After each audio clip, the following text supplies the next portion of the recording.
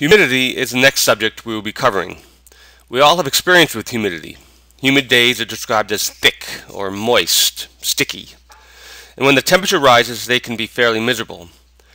As outlined in the prelude to the reading, high temperature with high relative humidity can make the heat index skyrocket. 130 degrees Fahrenheit as reported on April 26, 2005 in Thailand. Now that is hot. In general, humidity refers to the amount of water vapor in the air. There are several ways to measure humidity, and we will learn about different concepts related to humidity. First, we will link humidity to large-scale processes, and then move on to the smaller features of humidity and water vapor.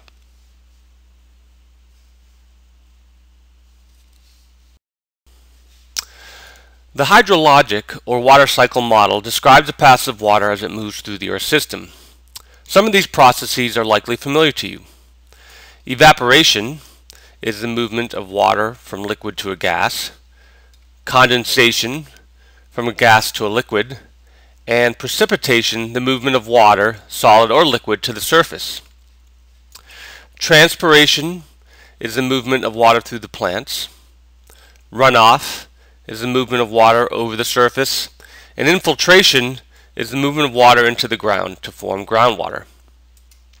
Note also that water can be stored in different reservoirs. Water can be stored in oceans, in rivers, in lakes, and in glaciers.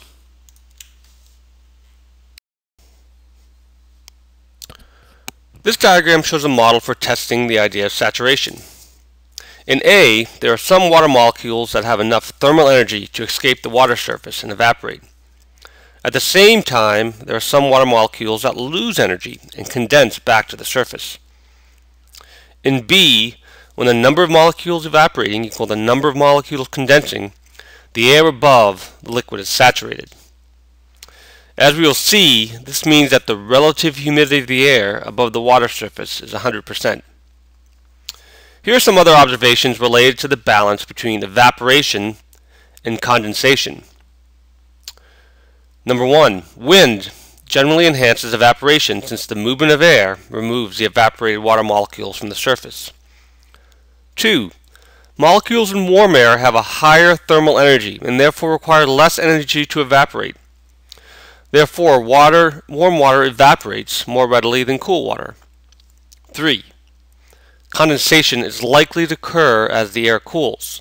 This is because the water molecules are moving more slowly and likely to adhere to nuclei and form droplets. 4. No matter how low the air temperature, there's always some vapor present, water vapor present. 5. Air saturation is likely to occur in cooler air than warmer. That is, you need fewer water molecules escaping from the surface to maintain saturation. And finally, number 6, warm air can hold more water vapor before saturation than cool air. Here is a humidity concept map I developed using a free tool called CMAP. CMAP is very easy to use and makes some nice concept maps. So, the bottom line from this scale is that humidity is a complex topic and laden with various terminology. I'd like to move through each major section, adding images from our reading. So here we go. First, here are the major terms from the chapter. Humidity is defined as the amount of water vapor in the air. It is measured and reported in at least five different ways. Absolute humidity, specific humidity, mixing ratio, vapor pressure, and relative humidity.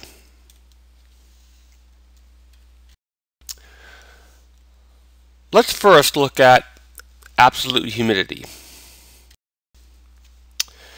Absolute humidity is the mass of water vapor divided by the volume of air. So it is also known as the water vapor density because it is measured in mass per volume. Perhaps we have not stressed this yet, and we will soon, but as air parcels move around vertically in the atmosphere, they change volume because of the changing pressure. Lower in the atmosphere, there are more air molecules, and therefore the air pressure is higher. As an air parcel descends, the pressure increases.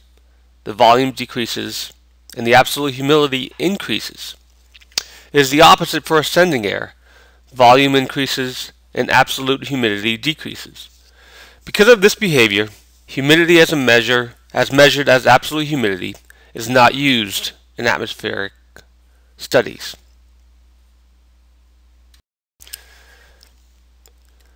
Next, we will look at mixing ratio and specific humidity. Unlike the absolute humidity, which is affected by volume changes, both the mixing ratio and the specific humidity are ratios that are dependent on mass and not volume. The specific humidity is calculated as the mass of water vapor divided by the total mass of the air, including the water vapor. The units are grams per kilogram. The mixing ratio is the mass of water vapor divided by the mass of the remaining dry air and is also measured in grams per kilogram. Both the mixing ratio and the specific humidity increase with increasing water vapor. A conundrum related to these two humidity measures is that at polar latitudes, the air has a lower specific humidity than areas at 30 degree latitudes, which are the home to major deserts of the world. Hmm. Why is that? This relationship is shown on the next. On this graph, the specific humidity is greatest at the equator and decreases towards higher latitudes. This means at 30 degrees latitude, the location of major deserts, the specific humidity is greater than at the poles. This seems odd, since deserts are viewed as very hot and dry. They certainly are hot, and we definitely know they're dry. We will see later that this is a function of other aspects of humidity and air temperature.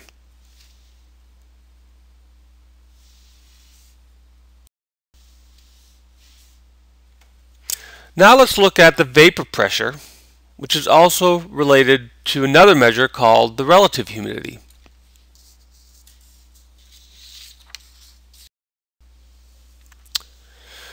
The total air pressure of a gas is the sum total of all the pressures of all gases. For humidity, the water vapor is related to the total number of water molecules. More water molecules, higher vapor pressure. When the air cannot take any more water molecules, it is saturated. And the vapor pressure is called the saturation vapor pressure. Vapor pressure is measured in pascals, millibars, or inches of mercury. The saturation vapor pressure is mainly a function of the temperature, as shown in the next two slides. In this model, saturation is reached when the number of molecules escaping from the surface equals the number of molecules returning to the surface. At higher temperatures, you need more water vapor to saturate the air. This graph shows that relationship. As you increase temperature, the water vapor pressure also increases. For example, at 10 degrees centigrade, the vapor pressure is around 12 millibars. At 30 degrees centigrade, the saturation vapor pressure is at 42 millibars.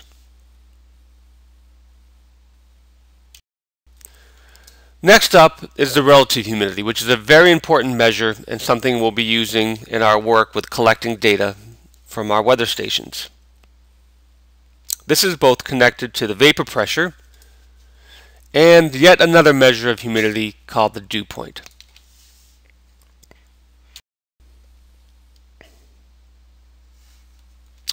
Relative humidity is the most common way to describe atmospheric moisture, but also the most mis misunderstood. The relative humidity tells us how close the air is to saturation, rather than a direct measure of the amount of water vapor.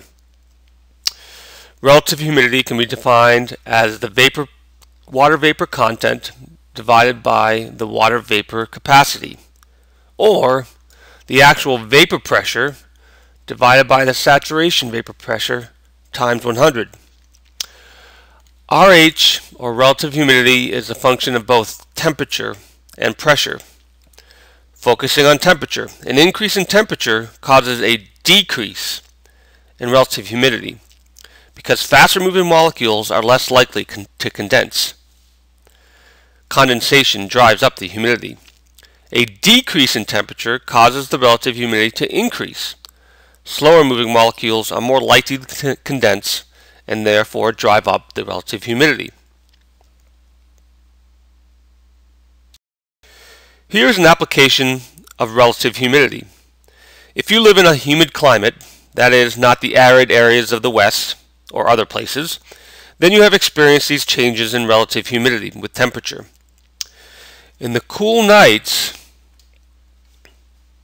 and mornings, the relative humidity is high. We experience that by having dew or fog, whereas during the warmer part of the days, the relative humidity is low as the fog or dew burns off. Remember, this is primarily due to the fact that warmer air can hold more moisture than cool air.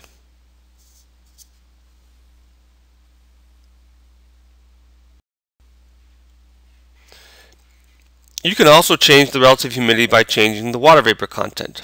Or another way to say this, changing the vapor pressure. If you remove water vapor, the relative humidity goes down. If you add water vapor, the relative humidity goes up.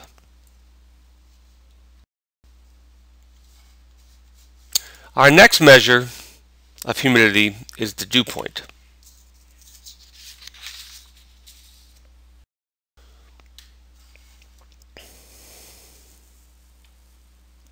The dew point is defined at the temperature at which air needs to be cooled to condense, that is, reach saturation.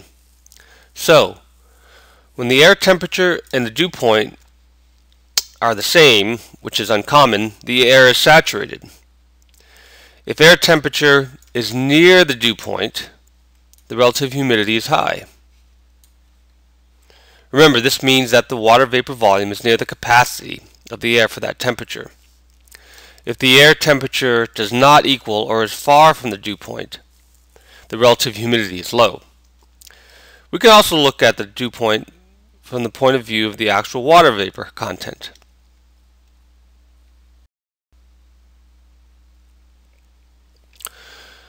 High water vapor, high dew is common along the Gulf Coast due to the humid air from the Gulf of Mexico that extends into the mid-continent and up the east coast during July, as shown here. That is why there's humid weather during these months.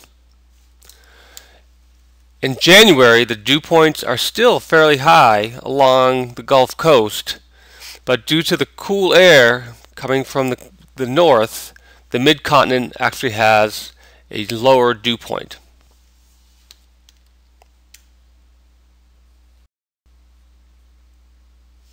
So this brings us back to the conundrum of polar air having a lower specific humidity than air at 30 degree latitude areas which are marked by deserts. Air at the poles is cold and the dew point temperature is close to the air temperature. This means that the relative humidity is close to 100%. That is, you don't have to cool the air very far for condensation to occur but the total vapor content is low because the air is so cold.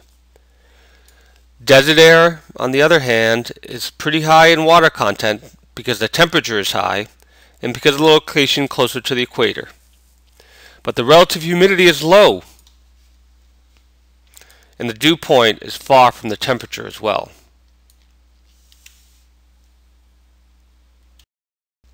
This is a visual that shows these relationships polar air equals low temperature, dew point temperatures close to the air temperature, and a relative high humidity. Desert air, high air temperature, big difference between the dew point and the air temperature, and a relatively low relative humidity. So desert areas feel dry because they have low relative humidity and not because they have low water vapor content. Let's put these ideas into a North American context during a July afternoon at 3 p.m. With apologies to non-North Americans, or those not living on the continent, the Gulf of Mexico air is warm and therefore results in higher water vapor concentrations. On shore, this results in higher dew point temperatures and higher relative humidity. Therefore, this time of year can feel pretty miserable. On the west coast, Pacific waters are cooler and hold less water vapor. Air temperatures are still pretty high, but the dew point temperatures are not close to the air temperatures, resulting in a lower relative humidity. This leads to the common adage of dry heat, not feeling as oppressive. It has a relatively low relative humidity compared to those areas in the southeast. One last application. It is commonly thought that if it's raining, the relative humidity is 100%. It may be 100%, but only if the air is saturated, which means that the dew point temperatures and the air temperatures are the same. In this image, within the cloud where the rain forms, the dew point temperature and air temperature are the same, and the relative humidity is 100%. But closer to the ground, the dew point temperatures and air temperatures are not the same, and the relative humidity is lower, but still pretty high. Here is the humidity concept map again. So, humidity is a complex concept with a lot of terminology. I hope this lecture provides a good framework for understanding the concept of humidity. In general, we'll be most concerned with measures of relative humidity and dew point, which we hear a lot about on our weather forecasts. And we also use this measure on our weather, uh, these measures on our weather stations. We'll be doing some exercises with these two measures as well, but not so much work with vapor pressure or absolute humidity. But perhaps the best way to understand humidity is to experience it. So, get up, go travel to a tropical jungle, visit the steamy southeast during the summer, or go running during a humid day when the moisture attaches itself to you like plastic wrap. I also wonder if there's anyone who says, I really love humidity.